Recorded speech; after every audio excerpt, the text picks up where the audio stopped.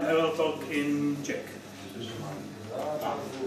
Takže, uh, dobrý večer. Já se omlouvám, ale dovolil jsem se ve tří do společnosti velikán jako Requests a Klik a podobné věci se svojí knihovnou. No. A je to knihovna na konfiguraci. Kdo už někdy z vás hledal knihovnu na konfiguraci? Já se tak milionkrát.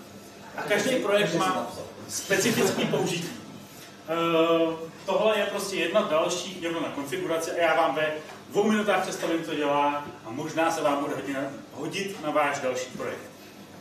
Je to LL Config, Lightweight Layer Configuration Library a spočívá v tom, že má vrstvy. Kdo nemá rád vrstvy? Zlou Každopádně, uh, dnešní aplikace, uh, když ji píšete, tak ještě vůbec nevíte, kde poběží. Poběží v Kubernetes, poběží na vašem lokálním počítači, poběží Docker Swarmu, v čemkoliv. Uh, vám to může být jedno, ale z hlediska konfigurace je to docela složitý problém, protože třeba potřebujete servisovat uh, konfigurační proměnění v rámci deploymentu pomocí Jenkinsu, pomocí C a podobných věcí. Takže použijete lconfig a nadefinujete, že chcete port, jakožto vaši konfigurační direktivu, že je to typu integer a že má defaultní hodnotu 80. A tahle knihovna za vás zařídí, že skolektuje ze všech těch jakoby, míst všechny věci, co může skolektovat, a to jsou environment proměny, soubory a takové věci, a dá dohromady ten port. A vy se o to nestaráte, vy akorát přistoupíte pro ten port. A jak asi chápete, tak kromě názvu konfigurační direktivy, tak je tady výchozí hodnota, jasný, a pak je tady tahle věc, co myslíte, že to je? In, díky. Obecněji? Konstruktor toho typu.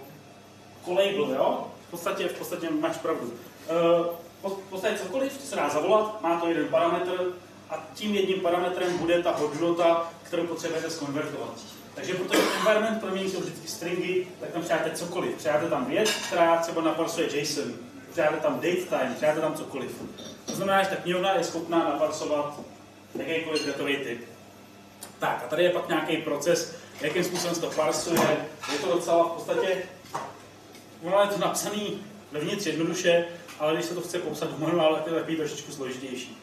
Tak tady máte pak nějaký příklady toho vlastně, co jde naparsovat, Například tak knihovna poskytuje nějaký defaultní konstruktory, protože kdybyste tam dali bool, tak v okamžiku, kdy děláte bool na nulu, tak co to je? True. True. Bool na string nula Na string. je true. No to je pravda. Vyzkoušete si to. Protože Ta knihovna vám poskytuje věci jako bool-like, která konvert, který konvertuje věci jako off, nebo nula, nebo disabled na falsy. Když budete v konfiguraci psát takovýhle srandy, tak prostě se to převede na false. A samozřejmě můžete si třeba dodat pole obrázků. Tak dáte lambda funkci, která to rozsplituje podle dvojtečky, udělá spolu cesty. Jo? Takže nadefinujete, konf, nadefinujete konfiguraci a dál to neřešíte, dál už proto šaháte strašně jednoduše a to buď pomocí indexu, jako asi do každé konfigurace, anebo pomocí oblíbené, mojí oblíbené flaskové funkce get namespace, kdy vy předáte uh, třeba databázová konfigurace, nastavíte double host, double port, double user, zvoláte get namespace a on vám to vrátí takovýhle krásný pole, který můžete předat přímo do toho databázového driveru. On to v podstatě skonvertuje tuhle strukturu na tuhle strukturu. Jo, takže dochází mi čas. Uh, prostě a jednoduše jedna další knihovna na konfiguraci. A po pauze si dáme soutěž o lístky na WebExpo. Jestli tady, má, jestli tady má někdo to zájem, tak to bude minutová soutěž. Tak se těším. Díky.